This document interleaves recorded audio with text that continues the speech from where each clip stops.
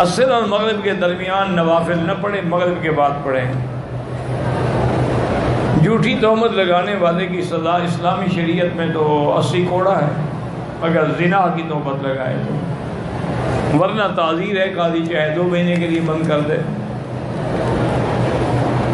मगरब की नमाज़ के, अजान के बाद जो दो रकात पढ़ती है, मुस्तहब है, कोई पढ़े पढ़े ना पढ़े ना पढ़े। हनफी मसलक में न पढ़ना बेहतर है। तहजद की रकातें आठ हैं। वैसे तुम्हारी हिम्मत है, दो पढ़ो, चार पढ़ो। हजूर आठ पढ़ते थे। अगर कोई आदमी को खौफ हो कि मैं तहजद के लिए नहीं उठ सकूँगा तो वितर शाह के बाद पढ़ ले। कोई मसला नहीं। है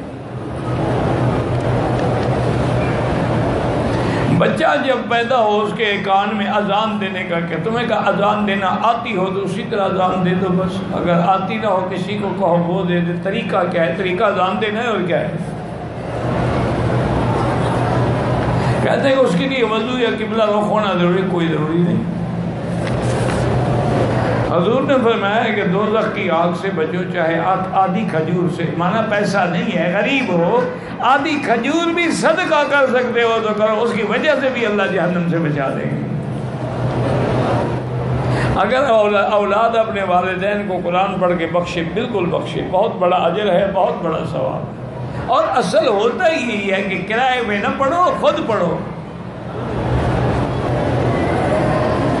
ये पता नहीं क्या लिखा है? हलाल, हलाले कराने का तरीका क्या है? कोई तरीका नहीं है जनाब। आपने तीन तलाक़ें दी अब उस औरत को चाहिए दूसरी शादी करे। अब यहाँ शादी करे, उसकी मर्ज़ी है, वो छोड़े ना छोड़े। ये किराए वाला हलाल हराम है। उस पर हजूर ने लानत भेजी है कि हलाल कराने वाले पर भी लानत है, करने वाले पर भी लानत है।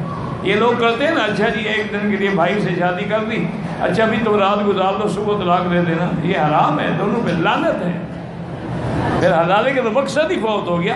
अल्लाह ये चाहते हैं कि वो औरत उस जालिम के पास दोबारा न जाए जिसने उसको तीन गोलियाँ कट्टी मारी हैं। किसी और से शादी कर ले।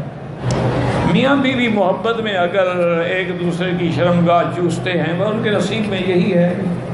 कि जिस मुँह से कलमा पढ़ते हैं हज़रत असद को बोसा देते हैं अब कहाँ पहुँचे हैं हज़रत?